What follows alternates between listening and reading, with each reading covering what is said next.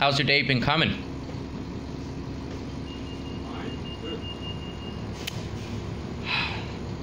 I'm about to see a movie, The Spy Who Dumped Me, uh, with my mom and her boyfriend Neil. He's been treating me good for the last month and a half.